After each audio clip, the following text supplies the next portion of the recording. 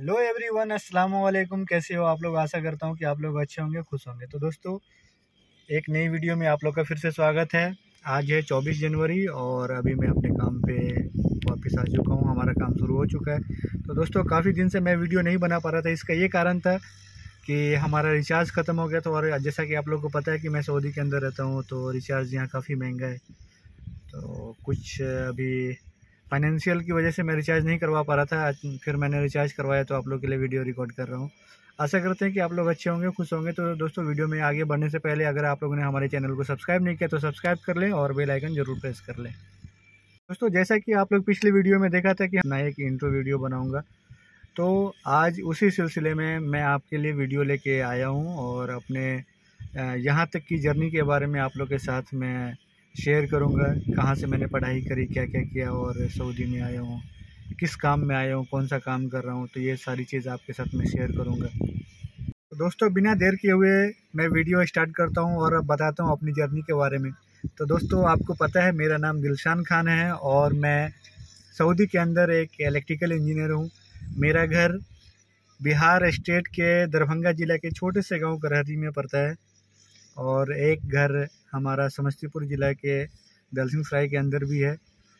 तो हमारी जर्नी शुरू होती है हमारे डेट ऑफ़ बर्थ से जब मैं पैदा हुआ था, उन्नीस सौ पंचानवे हमारा डेट ऑफ़ बर्थ है और उसके बाद हमारी चार साल, पाँच साल के बाद स्कूलिंग शुरू हुई। लास्ट में जो हमारी लाइफ का पहला स्टेज था 2012 ईस्वी जब मैंने मैट्रिक का एग्ज़ाम दिया और अल्लाह के फजल करम से मैं फ़र्स्ट डिवीज़न हुआ, हमारा 78 परसेंट मार्क्स आया। फिर हमने दो साल पढ़ाई करी इंटरमीडिएट की फिर 2014 ईस्वी में हमने इंटरमीडिएट किया। उसके बाद हमारी स्कूलिंग जब ख़त्म हो गई इंटरमीडिएट में जब पास हो गया तो एक साल ब्रेक लेने के बाद मैं अपने कुछ आ, क्या मैं बताऊँ हमारे जो बहनोई साहब हैं उनके सपोर्ट से और हमारे एक सीनियर जो हमारे कॉलेज के हैं उनका नाम मैं बताना चाहूँगा, गुलाम सरवर भाईजान। उनकी मदद से मेरा एडमिशन अल्फला यूनिवर्सिटी फ़रीदाबाद में हुआ, जो कि हरियाणा में है। उन्हें बीटेक करी। तो हमारा एडमिशन 2015 में हुआ और मैं पास आउट 2019 में हुआ। और हमारी यूनिवर्सिटी की अच्छी रही। कोई सा भी पेपर हमारा बैक नहीं हुआ। अल्लाह के फजल से और अपनी मेहनत से, अपने माँ बाप भाई बहन सभी लोगों के प्यार से और सभी लोग के सपोर्ट की वजह से मैं जो हमारी इंजीनियरिंग है इलेक्ट्रिकल एंड इलेक्ट्रॉनिक्स इंजीनियरिंग से मैंने 80 परसेंट मार्क्स हासिल किया और मैं वहाँ से पास आउट हुआ। फिर उसके बाद जिन्होंने हमारा एडमिशन के वक्त सपोर्ट किया था गुलाम सरवर भाईजान, उनके सपोर्ट से हमारा B S S Rajdhani power limited Sarita Vihar के अंदर में कुछ दिन मैंने जॉब करी इंटर्नशिप भी किया। उसके बाद, जैसा कि आप सभी लोगों को पता है कि ये 2020 में लॉकडाउन हो गया, जिस वजह से मैं अपने घर पे आ गया था तो शायद उस वक्त में हमारा जो बीएससीएस का जो ये था, वो ख़त्म हो गया सफ़र वहीं पे। फिर उसके बाद लॉकडाउन में आप लोग को पता ही है, सारी कंपनियाँ बंद हो चुकी थी, काम नहीं हो रहे थे। तो उस वक्त हम अपने घर पे ही मौजूद थे। डर था, दूसरी लहर, तीसरी लहर आ रही थी तो इस वजह से मैं वापस दिल्ली नहीं जा पाया। फिर मैंने अपने गाँव में ही शिक्षा के क्षेत्र में कुछ करने का सोचा, फिर हमने टीचिंग शुरू करी। मैंने दो साल मैंने टीचिंग करी। दो साल के अंदर हमारे पास कुछ बच्चे आए थे जो कि इंटरमीडिएट और मैट्रिक के बच्चे थे। उनका परसेंटेज भी अच्छा रहा, सभी फ़र्स्ट डिवीज़न से पास हुए। तो मैंने कुछ दिन स्कूलिंग करी। एक चीज़ और दोस्तों, मैं आपको बताना चाहूँगा, जब मैंने अपने गाँव में टीचिंग शुरू किया था तो आपके अपने ही जो होते हैं, वो कुछ आपको डीमोटिवेट करते हैं। हमारे साथ भी ऐसा हुआ था, उन्हें लग रहा था कि शायद इससे काम नहीं मिलेगा या फिर ये जॉब नहीं कर पाएगा। जो एक, वो पैर खींचने वाली बात होती है ना, वो हमारे साथ भी हुई। बहुत सारे लोग सामने तो नहीं बोलते थे, लेकिन सबकी बातें मैं सुनता था। कहीं से बात घूम फिर के हमारे पास आती थी कि अरे इंजीनियरिंग करके बैठा हुआ है, कोई काम नहीं मिल पा रहा है जॉब नहीं कर पा रहा है टीचिंग करके क्या करेगा? बच्चों को पढ़ा के क्या करेगा? इसमें लाइफ नहीं है। मेरी ख्वाहिश थी कि हमारे अंदर जो नॉलेज है, मैं जब तक घर बैठा हूँ या घर पे हूँ, कुछ बच्चे को नॉलेज आ जाए, कुछ मैं उनको पढ़ा सकूँ, क्योंकि हमारे गाँव में उस लिहाज से टीचर नहीं है। हमारे गाँव में टीचर की बहुत ज़्यादा कमी है। बिल्कुल छोटा सा गाँव है। और जो टीचर पहले से हैं, मैं नाम नहीं लेना चाहूँगा किसी का। वो वो उसने हमारे गाँव को बहुत अच्छी तरीके से आगे बढ़ाया है। लेकिन ये चीज़ आप लोग को पता हो कि जो जिस स्टैंडर्ड का होता है, वो अपने हद तक कोशिश करता है कि मैं बच्चों को अच्छी शिक्षा दूँ। लेकिन आपको उस तरह से नहीं वो शिक्षा दे पाए खैर, जहाँ तक भी उन्होंने हमारे गाँव को ले गया है, वो मैं उनका शुक्रगुजार हूँ कि हमारे गाँव के जो फैमिली हैं, जो भी बड़े बुज़ुर्ग हैं, सबको मोटिवेट किया। और जो हमारे गाँव में कभी स्कूल नहीं हुआ करता था, कभी बिजली नहीं हुआ करती थी, वो सारी चीज़ें आज के डेट में हमारे गाँव में मौजूद मौजूद हैं। और हमारे गाँव के बच्चे अभी दरभंगा या फिर पटना या फिर दिल्ली, बहुत सारी जगह जाके पढ़ रहे हैं। तो इसी लिहाज से हमारा भी एक कदम था कि मैं जब तक बैठा हूँ, हमारे अंदर जो नॉलेज है, मैं अपने स्टूडेंट को या अपने गाँव के बच्चों को जो भी मैट्रिक में या इंटरमीडिएट में पढ़ रहे हैं, उनको मैं कुछ दे सकूँ, ताकि उनकी जो जर्नी है लाइफ में आगे बढ़े, उनको कभी दिक्कत ना हो, कभी परेशानी ना हो, और अच्छी पढ़ाई, अच्छी शिक्षा होगी, तभी तो वो आगे बढ़ेंगे। तो इस मकसद से मैं स्कूलिंग शुरू करी थी टीचिंग शुरू करी थी, लेकिन उस चीज़ को लोग ये ना सोचकर हमारे गाँव के या हमारे फैमिली से ही कुछ लोग ऐसे थे जो हमारी खिंचाई करते थे और उन्हें लगता था कि ये बेरोज़गार है, इसके पास कोई काम नहीं है। बहुत सारी बातें हुआ करती थी, लेकिन उन लोग को मैं बता दूँ कि आज मैं सऊदी के अंदर में हूँ और मैं अच्छे पोजीशन पे हूँ अच्छा काम भी कर रहा हूँ। तो कभी भी किसी को देख के जलना नहीं चाहिए दोस्तों। खुद में हिम्मत रखो, खुद आगे बढ़ो। मैं रात रात भर जग के मेहनत किया हूँ। मैंने चार साल इंजीनियरिंग करी, इतने सारे सब्जेक्ट पढ़े, इतने अच्छे परसेंटेज लाए। फिर बाद में भी मैंने बहुत सारी मेहनत करी, कुछ मैंने प्रिपरेशन भी करी।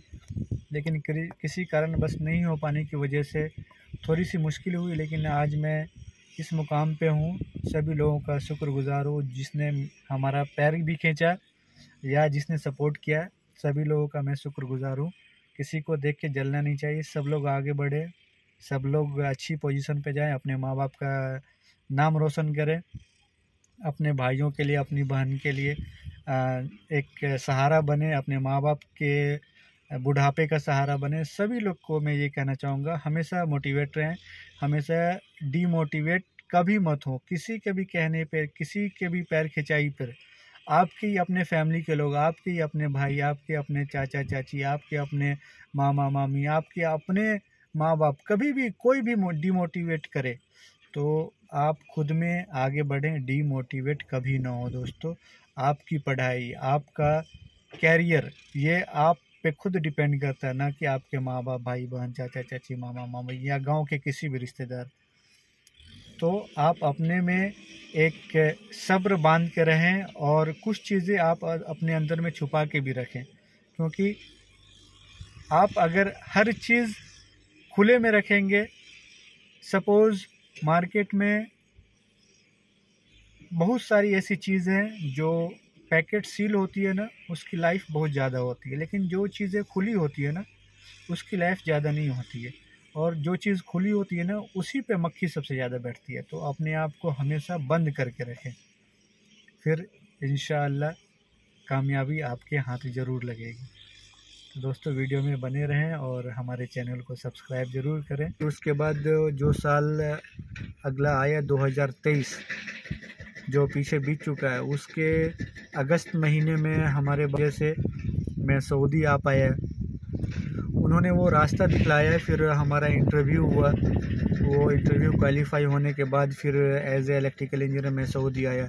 क्योंकि जितने भी बंदे अभी बैठे हुए हैं, जो भी बेरोज़गार हैं, जो भी हमारे इंडिया पाकिस्तान बांग्लादेश नेपाल जहाँ के भी हों, उनको एक ज़रिया नहीं मिल पाता है। जिस वजह से वो सही जगह आ नहीं पाते हैं या सही जगह उनका सिलेक्शन नहीं हो पाता है।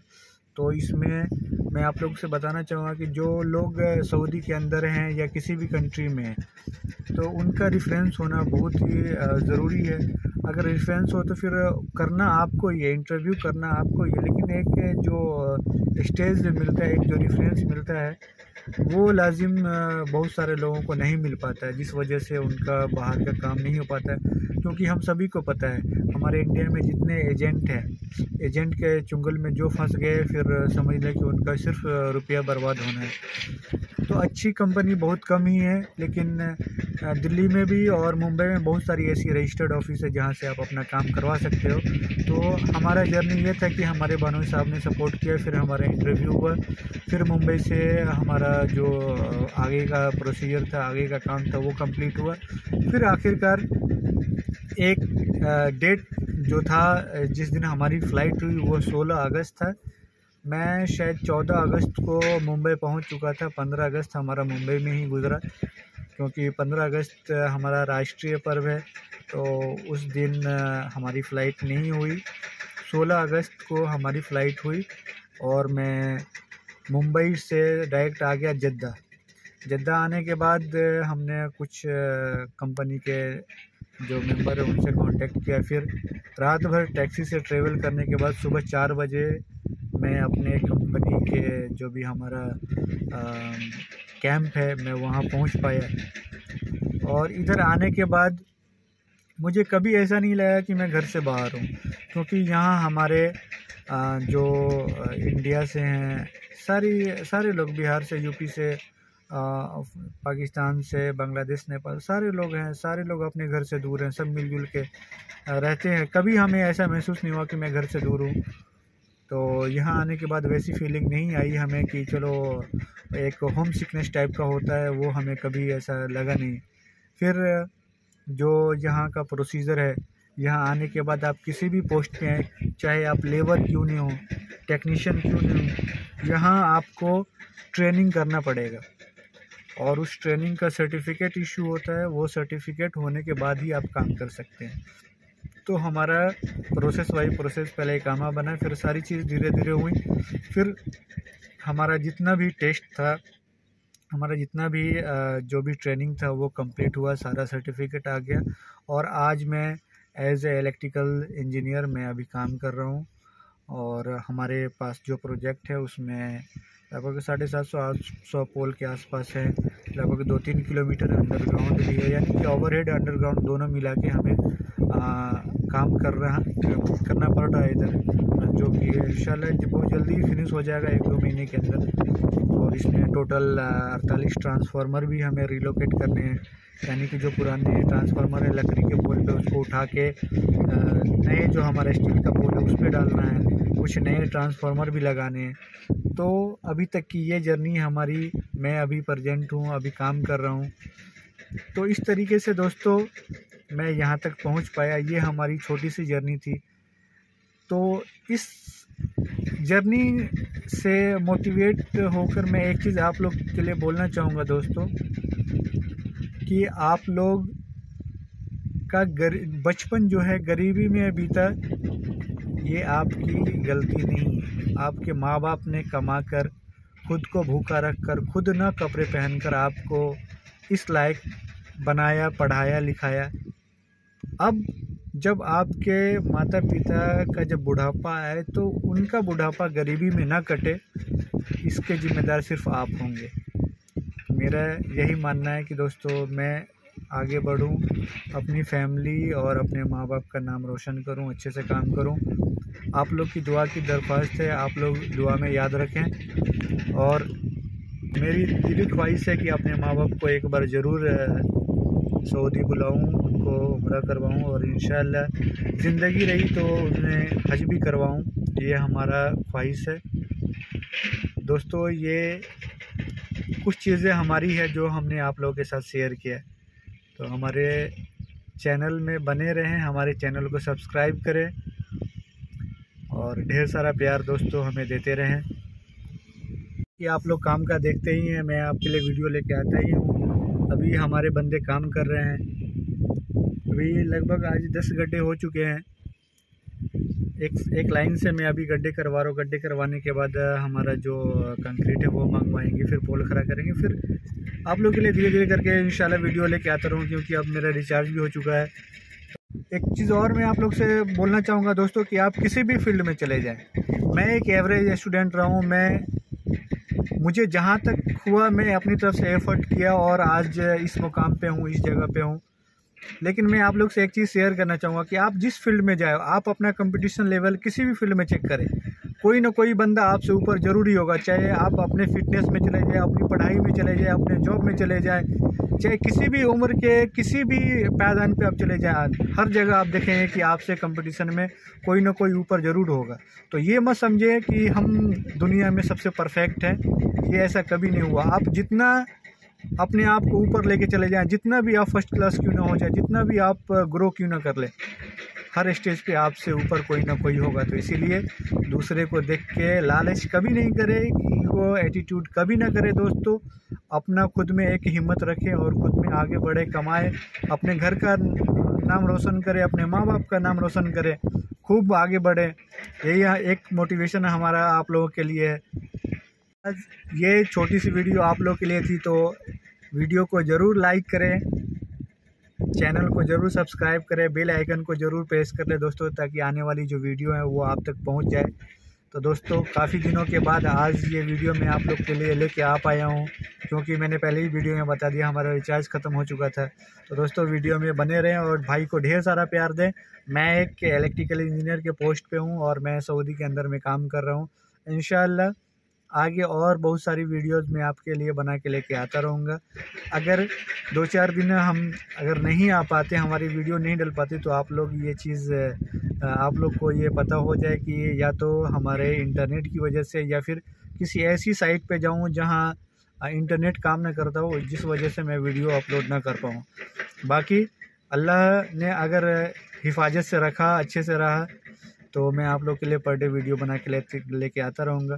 तो हमारे जितने भी व्यूअर्स हैं, हमें प्यार देते रहें, हमारा करें, हमारे चैनल को सब्सक्राइब करें, हमारे वीडियो को लाइक करें और ढेर सारा प्यार दे तब तक बने रहें हमारे वीडियो में। दोस्तों, मिलते हैं अगले वीडियो में, तब तक के लिए बाय बाय टेक केयर